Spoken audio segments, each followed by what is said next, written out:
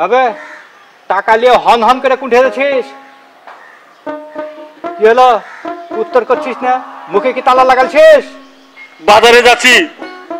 বাজারে? বাজারে কি করতে যাচ্ছিস? ঈদের জামা কাপড় কিনতে যাচ্ছি। ঈদের জামা কাপড় কিনতে যাচ্ছিস তুই? হ্যাঁ রে তুই যে ঈদের জামা কাপড় কিনতে যাচ্ছিস তোর কাছে টাকাও দেখছি। টাকা কুণ্ঠে পারলি তুই? বিছানের তলে পেয়েছি। কুণ্ঠে বিছানের তলে। কার বিছানার তলে? লেও ধিনি কথা বাড়াচ্ছে না একবারে কুপিয়ে ছেড়ে দেবো। কার বিছানার তলে পালি তুই? নানার বিছানের তলে।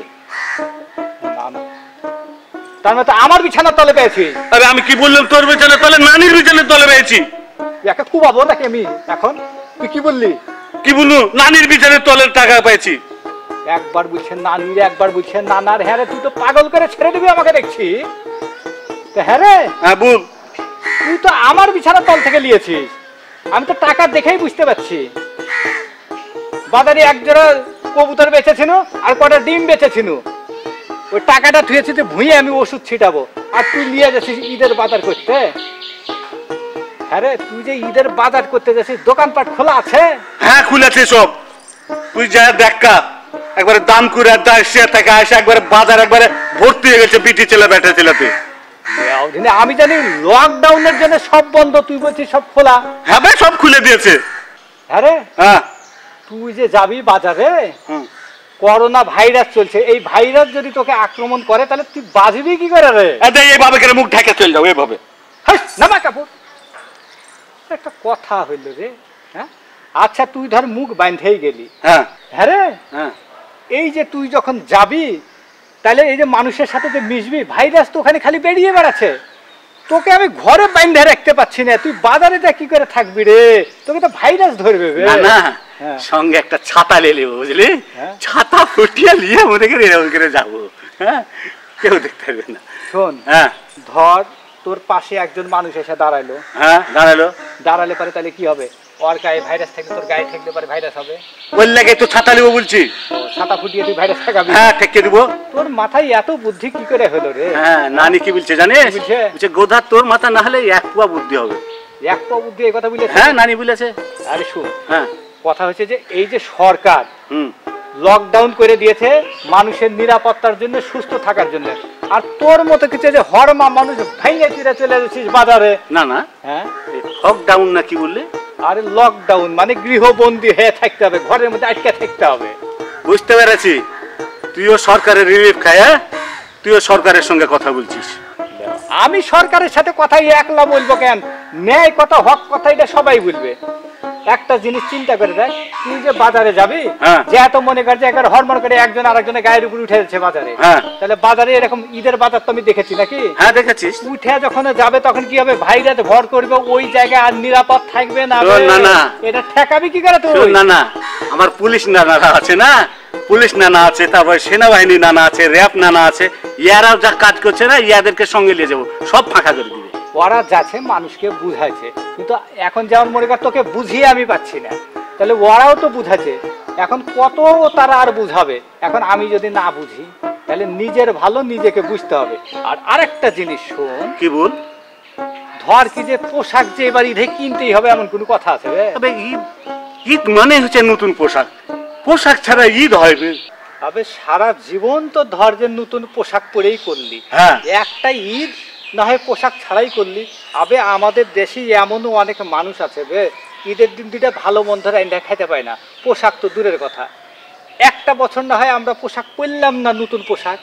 ঈদ না হয় সবাই মিলে সমানভাবে করলাম। আচ্ছা না না হ্যাঁ। ভালো কথা তুই বলেছিস। আচ্ছা আমাকে না হলে তোর আমি নাতি আমাকে তুই বুঝে রাখলি। কিন্তু ওই মেয়ের ছেলে গেলা ওই বিটি ছেলে গেলা ও বেটা ছেলে ওদেরকে কে বুঝাবে? ওগুলাকেও বুঝাতে হবে। যেমন হচ্ছে বিভিন্ন টেলিভিশন রেডিও বুঝাচ্ছে। সচেতন মানুষরা বুঝাচ্ছে। হ্যাঁ। আমি যেমন তোকে বুঝাচ্ছি তুইও তোর পরিচিত জনকে পাইলে এরম ভাবে বুঝাবি। সব মানুষই বুঝবে ঠিক আছে? বুঝিয়েই কি করতে হবে? নিরাপত্তা নিশ্চিত করতে হবে। কথাটা তুই খারাপ বলিসনি ঠিকই বলেছিস। এর লেগে সরকার আবার পুলিশ গেলা মাইক লিয়ে মনে কর বলছে বিডিআর গেলা মাইক লিয়ে বলছে আর্মি গেলা মাইক লিয়ে বলছে আর র্যাক নানারাও যারা মনে কর ভীষণ ভীষণ করতো ওরা মাইক লিয়ে বলছে বে। এই দুর্যোগটা কাটুক তারপরে ভালো দেখে পোশাক কিনে তোকে সুন্দর করে সাজিয়ে দেবো। জবর কথা বললি বে হ্যাঁ? বিয়ার সময় দাও জিয়াফত দিবে না ছেলে হওয়ার সময় জিয়াফত দিছ? আরে ধৈর্য ধরবে সব সময় তো একরকম যায় না। হ্যাঁ দিন যাবে দিন আসবে দুঃসময় গেলে সুসময় আসবে। আমাদের এই সুসময় পর্যন্ত অপেক্ষা করতে হবে। তাহলে ধৈর্য ধরবি তো?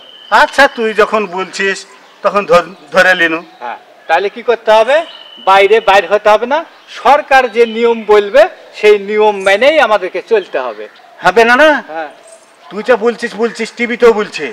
আবার আমি দেখছি রাস্তাঘাটে এই পুলিশ ভাই বিডিআর ভাই সেনাবাহিনী। হ্যাঁ বুঝেছি। এই যে যারা আইন শৃঙ্খলা রক্ষার জন্য আছে এরা অক্লান্ত পরিশ্রম করছে। দেশের শান্তি বাঁচাইতে এখন এমন হয়েছে বে দুঃখের কথা কি বলব? যত তোর মনে কর যে পুলিশ নানা আক্রান্ত হয়ে আজ মনে কর মৃত্যুর মুখে পতিত হয়েছে। বলছিস কি বে? দশ বারোটা পুলিশ জানা মতো মরেই গেলছে। হ্যাঁ এই যে আল্লাহ তাদের শহীদের মর্যাদা দান করুক দান করুক ঠিক হ্যাঁ? বলেছিস। এত দেশের জন্য এই যে ত্যাগ হ্যাঁ। এটা বিশাল বড় ত্যাগ। এরকম ডাক্তার নানারাও ত্যাগ করছে। ঠিক। এরকম যারা সেবা কর্মের সাথে জড়িত আছে সব নার্স ডাক্তার তারপরে যে প্রশাসনের লোকজন জরুরি সেবা যারা দিচ্ছে এরা প্রত্যেককেই মনে করে এরকম ভাবে না না মানুষের পাশে হ্যাঁ। না না তুই যেটা বলছিস সেটা ঠিক। আর একটা কথা আমার মাথায় চলে আসবে এই যে ঘরের মধ্যে থাকছিস আবার ঢাকা থেকে চিটাগাং থেকে সব রাতের অন্ধকারে পালিয়ে চলে আসছে বে আয়সা বাড়িতে থেকে যে আয়সা থাক। ঘরের মধ্যে থাক তা না কি করছে জানিস? কি বাজার বাজার ঘুরে বেড়াচ্ছে এই স্টেশনে ঘুরে বেড়াচ্ছে ওই সেই সাহেব বাজার চলে যাচ্ছে কোট বাজার চলে যাচ্ছে চলে যাচ্ছে শুন শুন শুন শুন থাম থাম হ্যাঁ। এই রকম ঘটনা যদি পাস হ্যাঁ। তাহলে কি করতে হবে? স্থানীয় যে কাউন্সিলর মেম্বার চেয়ারম্যান থাকবে এলাকার প্রতিনিধি হ্যাঁ। ওদের কানে যা দিতে হবে ভেজাল করার কোনো দরকার নাই। যে বলবি যে এই ঘটনা এই লোকটা বাহির থেকে এসেছে। তাইলে তারা কি করবে? এই তথ্যটা পাইলে পারে যা ব্যবস্থা নেওয়ার ওরাই একটা ব্যবস্থা করবে। সুন্দর একটা ব্যবস্থা ওরা বাইর করে দিবে। বুঝতে পেরেছিস? তার মানে ওদেরকেও ঠাইয়া দিতে হবে। হ্যাঁ ওদের ব্যবস্থা না ঠিক আছে। সুন্দরভাবে ব্যবস্থা না ঠিক আছে তুই যখন বললি তাই করব। না না। তাহলে কি আমরা ঘরে থেকে ওষুধ কিনতেও বাজারে যেতে পারব না বে আবে কেন যেতে পারব না? জরুরি কাজের জন্য তো যেতে হবে। এখন ধর কি করবি? তোর ওষুধ লাগবে হাট বাজার লাগবে এগুলো তাড়াতাড়ি যাবি তাড়াতাড়ি চলে আসবি। কিন্তু যাওয়ার আগে সাবধান। কীরকম সাবধান? সেটা হচ্ছে তোকে কি করতে হবে? হাতে হ্যান্ড গ্লোভস লাগাইতে হবে। মোজা। হ্যাঁ নাকে হচ্ছে মাস্ক ব্যবহার করবি বললাম ঠিক আছে? মুখার। হ্যাঁ। যে হাট বাজার যা করবি দূরত্ব বজায় রেখে করবি সামাজিক দূরত্ব এটাকে বলছে। বুঝলি? তার মানে কমপক্ষে তিন ফিট সামাজিক দূরত্ব। হ্যাঁ সামাজিক দূরত্ব। মানে তিন ফিট দূরে এক মানুষ থেকে আর এক মানুষ তুই আর আমি আর কি? হ্যাঁ এইরকম দূরত্ব বজায় রেখে চলতে হবে। না না হ্যাঁ। ঠিকই বলছিস এই সামাজিক না কি দূরত্ব?